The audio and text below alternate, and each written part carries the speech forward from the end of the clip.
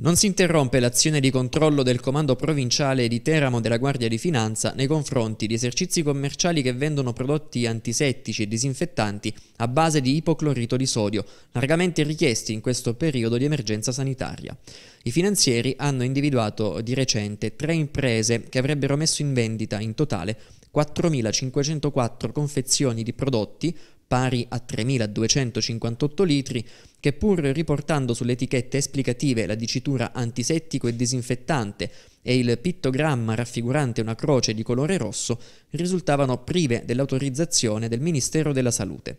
Nello specifico, a Bellante la compagnia di Giulianova ha sequestrato 240 flaconi di prodotto igienizzante da 800 ml, recanti sull'etichetta la dicitura disinfettante, quindi commercializzato come prodotto biocida, in assenza della prescritta autorizzazione.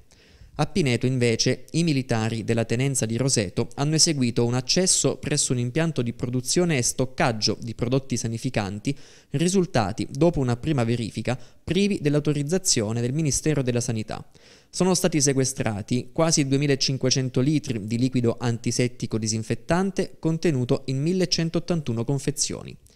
A Sant'Egidio la Vibrata, i finanzieri della tenenza di Nereto, dopo aver denunciato il responsabile di un'azienda che aveva prodotto e commercializzato, senza le autorizzazioni del Ministero della Salute, 23.530 confezioni di gel disinfettante, vendute prevalentemente ad una società austriaca, sono riusciti ad individuare e sequestrare altri 3.083 flaconi da 20 ml di gel emolliente disinfettante e 935 etichette descrittive del prodotto che erano stati distribuiti ad aziende della provincia.